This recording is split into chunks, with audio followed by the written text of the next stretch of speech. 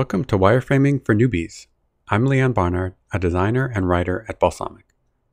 Before we dive into what wireframing is and how it works, I'd like to start by giving an overview of the software development process to provide some context for why wireframing is so valuable.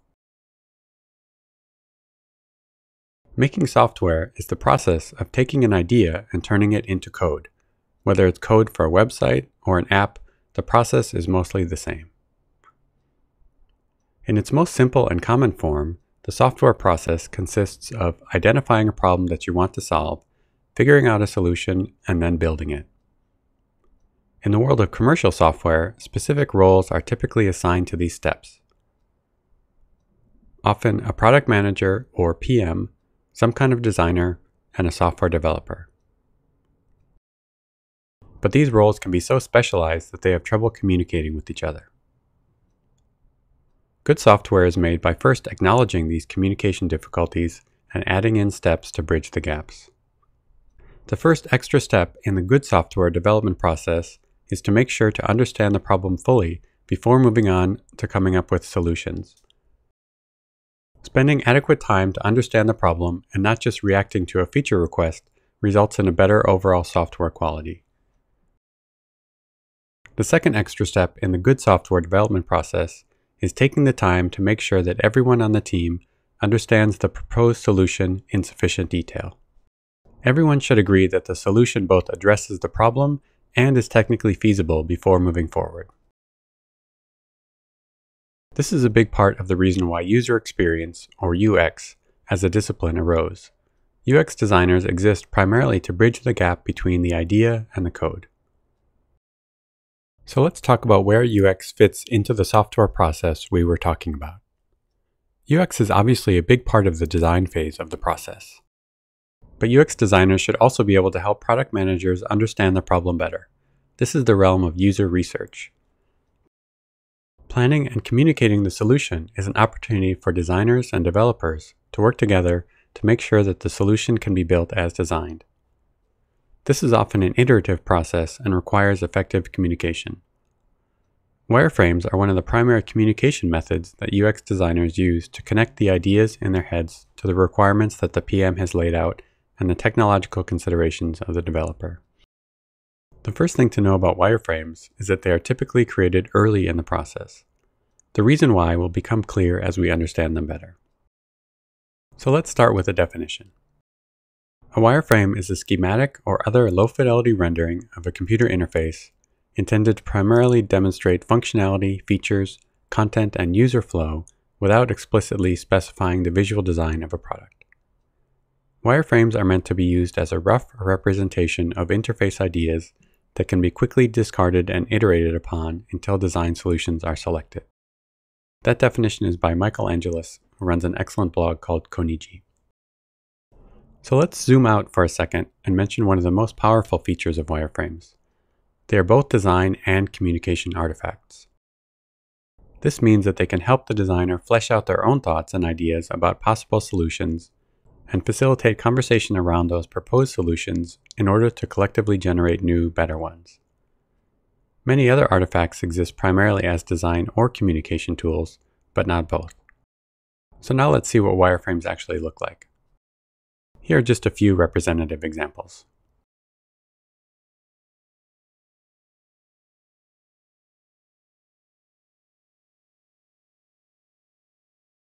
It's hard to talk about wireframes without also mentioning prototypes. They are not equivalent. There can be overlap between them, but technically speaking, they are distinct. The main difference is that prototypes are intended to pass as a realistic representation of the final product. Prototypes, when used, come after the wireframes have been reviewed and iterated on. They are often the final checkpoint before development starts. They can be useful when working with clients to get sign off on a project to advance to the next stage. Agile and tightly integrated in house teams may not need to use prototypes at all. A simplistic way of thinking about the difference between wireframes and prototypes is to use the architecture analogy. A wireframe is like a blueprint. It serves multiple purposes and speaks to multiple audiences. It provides the client with an understanding of what will be built and where things will be located, although it leaves some details to the imagination, such as the building materials and color of the walls. A prototype is more like a scale model of a building. It's a realistic representation of the project to be built, used for final approval. Where this analogy falls short is that building a house is necessarily a waterfall process, where each step occurs in sequence and is mostly locked in afterwards. The reason that prototypes are not always needed is that modern software processes aren't like this anymore. Software can be built in smaller chunks, and some decisions can be deferred until more information is available. In summary, here are the main differences between wireframes and prototypes. For context, I'd like to explain some other UI design artifacts that are used. Wireframes and prototypes are on a spectrum of techniques in the software process. Many organizations use hybrid or multiple approaches. Functional specifications are the oldest and most traditional UI design artifacts. They are typically text-based lists of requirements and constraints. Agile user stories are an attempt to convey the most meaningful information using a lot less text and relying on good communication to fill in the remaining details. Traditional pen and paper sketches were used for a long time before wireframing tools existed. Some designers still prefer them. Short for comprehensives, comps are often used in agency settings to present static images of the final art and design work to get approval from the client. Prototypes, as I mentioned, are more realistic and feature some kind of interactivity to communicate the flow between screens or sequence of events.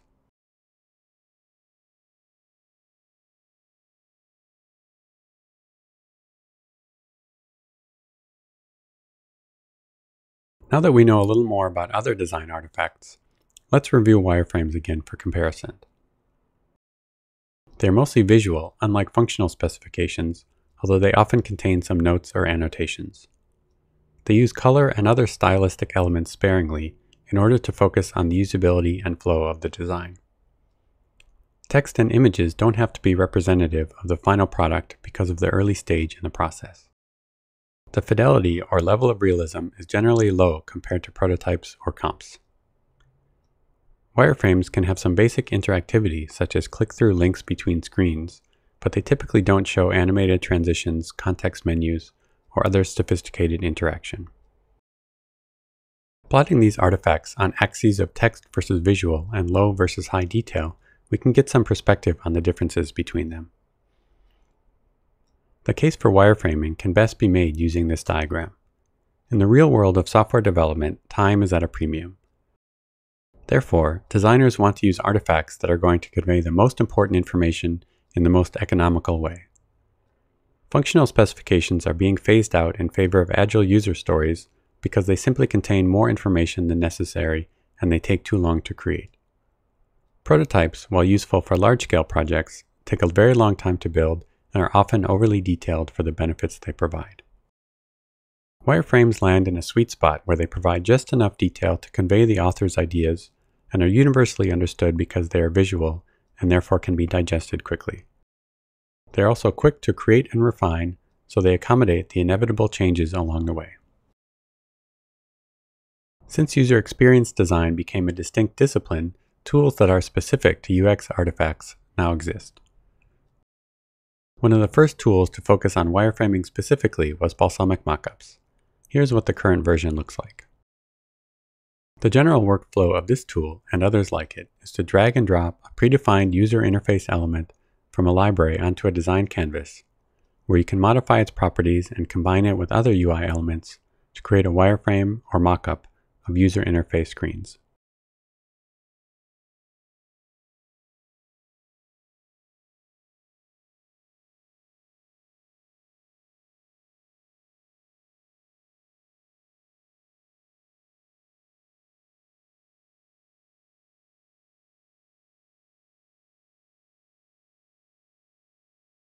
Here are some other tools that can be used for wireframing. Some of them also serve other functions, either as presentation tools such as PowerPoint or general design tools such as Sketch. As I mentioned earlier, wireframes function as both design and communication artifacts. These functions can also be defined as two distinct phases, which I'll explain here. The first phase, which I call the ideation phase, is what you would typically think of as creative design work. The goal is to come up with as many ideas as possible to give you a starting point for further refinement. Here's a video I recorded of myself doing an ideation phase exercise to come up with ideas for a to-do list mobile app. I went in without any set ideas and just let my imagination work as I played around in Balsamiq mockups. Uh, we're working on a mobile app here, so I'm going to grab a, an iPhone control and uh, I'll start by adding a few buttons. Um, let's make this a new to-do button. Um,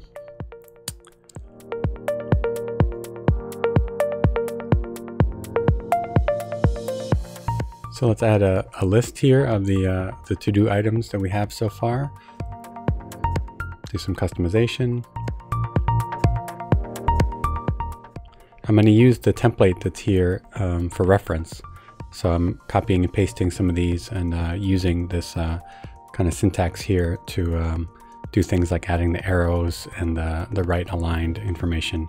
So um, add something and then look at the existing uh, template again and then um, you know, kind of copy and paste from there. So starting to get a few different types of to-do list uh, or to-do items in there. Um, ones with checkboxes, different priorities, due dates, things like that. Um, let's go ahead and give it a name. Um, realize that we don't have to make it so big. Let's make this a little smaller. Um, that doesn't look too bad. So let's duplicate this and um, uh, let's see what happens if we add a couple different types of categories um, for to-do list items. So I'm going to move this out of the way, shrink the title, put an accordion, um, which is uh, which I'll use for the different types of categories. See how that looks? Not too bad. Um, let's do kind of a material design style um, uh, round button in the bottom.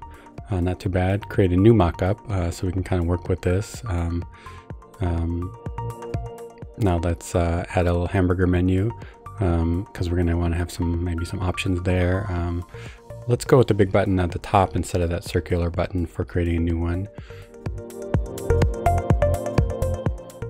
Add a comment here and also a reminder what I was thinking um, at the time. So since um, since we have categories, we want to have a way to create new categories as well as new to-do items. So maybe you push the plus to create one, uh, hold it down for new category.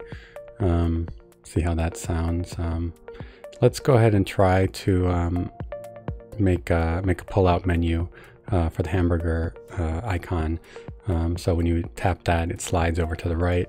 So using the crop to uh, kind of crop that existing uh, to-do list with the categories, move it over to the right, add a little uh, rectangle for the um, um, for the pull-out menu. Let's do uh, settings and my account maybe um, if you want to sync it up. just kind of brainstorming here. Move these a little farther apart. See, we need to have a way to edit not just the to-do list, but the um, categories. So we need to have a way to do that. Uh, to put that in the uh, side menu as well. And notice I've created a new, another duplicate of the previous one, and I'll create another one um, to kind of keep branching my ideas as I go. So it doesn't look too bad. Um, let's go ahead and try to design um, kind of redesign or design the, uh, the categories uh, configuration screen. So again, I'm going to use this uh, iPhone menu, kind of leverage some of the um, uh, some of the styles that are in there. Um, I'm looking for the uh, the one that allows me to reorder order things um, with that little equal sign and then delete. Um, so it doesn't look too bad for uh, an edit categories um, menu screen. And then, uh, oh yeah, we need a, a, way to add a new category. Let's add a little text input um, field here, show a keyboard to show that, um, you know, that's where you can add new categories.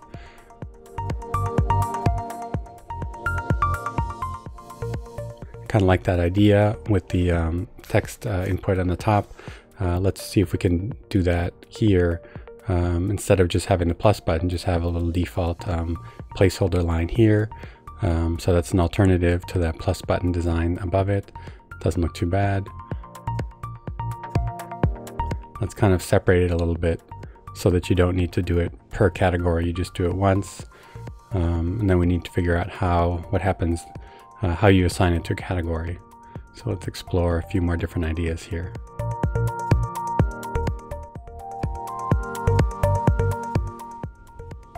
So what if we have some uncategori uncategorized items? Let's see how that feels. Um, feels like maybe it'd be kind of a lot of work um, to then have to move them into categories. Um, maybe just going to give up on that idea. Um, so let's think about some ways that we can check off these items um, after we're done with them. Oh, here's an idea for um, adding new uh, to-do items and then assigning them to a different category. Um, let's use a little uh, drop-down list button um, so you can add one and then immediately assign it to a category, um, including unassigned. Let's see how that feels.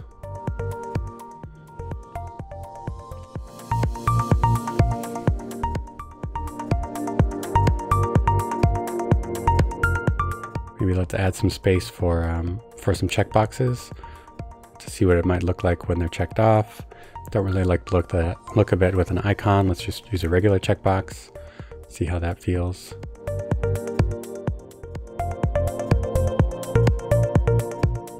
Yeah, let's just make some empty space in the beginning and then use regular checkboxes. See how that feels. We'll have to do something about that priority because uh, that we're using that space for the checkboxes now. So let's try moving it over to the right and keeping the checkbox look.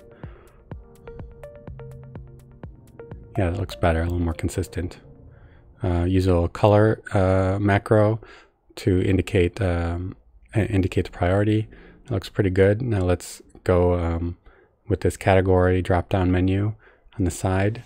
And um, yeah, not too bad. Some tips for this phase of the process. Don't judge your ideas or think too much as you're working.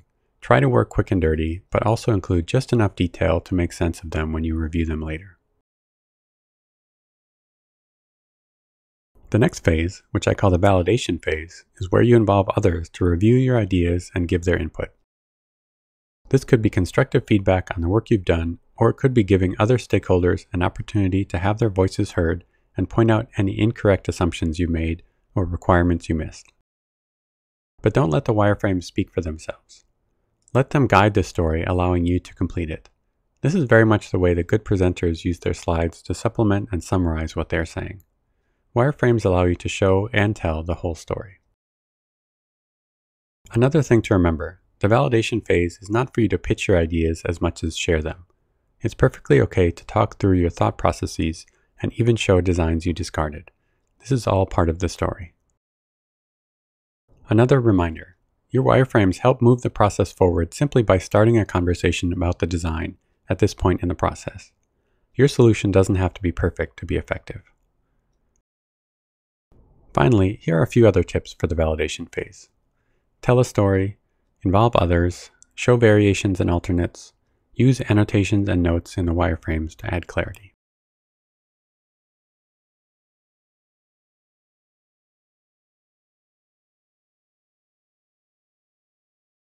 So that's pretty much all you need to know to get started with wireframing. The more you do it, the better you'll get at it. Good luck and happy wireframing.